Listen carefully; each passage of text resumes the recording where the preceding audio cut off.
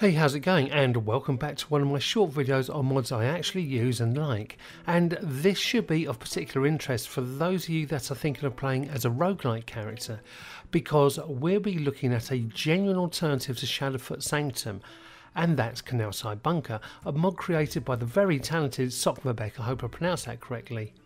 Now getting this home is very easy. Uh, just head over to Riften and pop into the Pawned Prawn and speak to Bersi Honey-Hand and for the princely sum of 6,300 septims the key to the Canalside Bunker is yours. The home itself is right opposite uh, across from Elgrim's Elixirs and directly underneath Honeyside. There's nothing really to report on the outside, just a small table and a couple of chairs and is nice and discreet as a rogue's home base should be. So let's just take a wander around the inside. Well, first things first is that it's suspiciously spacious. One could almost say TARDIS like. Um, but let's suspend belief for a little bit and uh, take a peek around.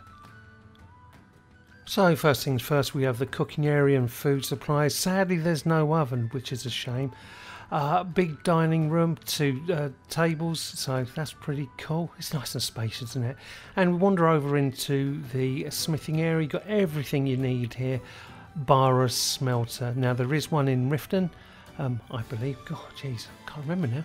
Anyway, love that mural on the wall. It's really great. Candles up the stairs. The vibe here is really great. And we're walking around into the enchanting and alchemy area. Now, what I love about this is everything's close together. Your smithing, your alchemy, your enchanting, there's storage around available. Could be a few more chests, I think.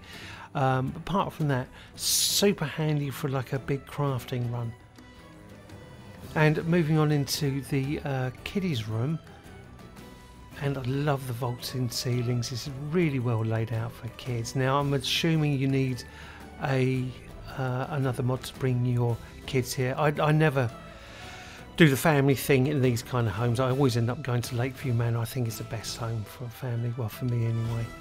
But the room itself is great, and you can bring kids here. Okay, like I say though, through another mod. And we wander around into the followers' room, which again is superb with specialised uh, follower storage and stuff like that. Again, beautiful vaulted ceilings and the candles and the vibes great. Now, here's the thing about this though. Um, this is with uh, Inigo and Grom. They will never come in here. When I go outside, they're always going in and out of Maven Black-Briar's house. I don't know. There's a little glitch going on here. Um, maybe it's only uh, my mod loader loadout, sorry, uh, which is causing this. I don't know. But uh, it doesn't matter. If you have uh, any problems with them, just fast travel to Mistveil Keep and uh, they'll meet up with you there. Okay. You see what I mean about being suspiciously TARDIS like? Love the stairs with candles coming down, all helps the vibe.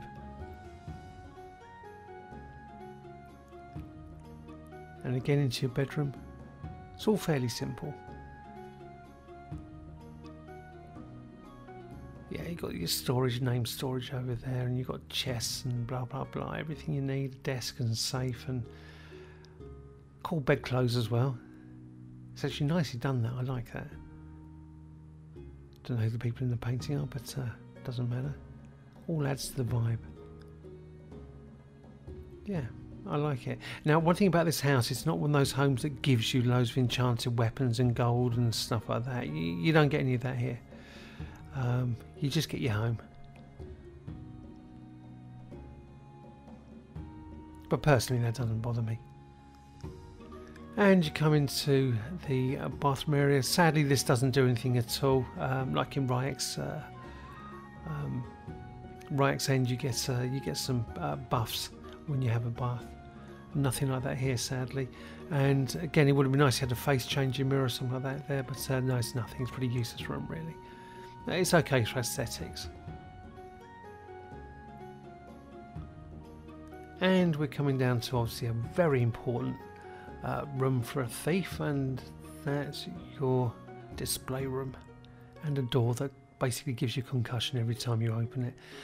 And even though it's kind of geared towards like uh, the Thieves Guild and uh, Black, uh, Dark Brotherhood and stuff. You've got storage for everything your Paragons, your Black Books, and yeah, your Claws and Dragon masks and everything. He's got everything you want. Again, love those murals on the walls. Absolutely fantastic. Great vibe yeah, I love this. And the one reason why I'd actually take this home over Shadowfoot Sanctum, which I did like, I genuinely did, is that this is just easier to get to. It's spacious, it's not cluttered, it offers you everything that does. It's just easier, especially the crafting area being all, all together. You know, I'm a big fan of that. Um, all in all, I've got to say, I absolutely love this home. Now, I hope you do too, and I hope you enjoyed the video, and uh, catch you later. Love you.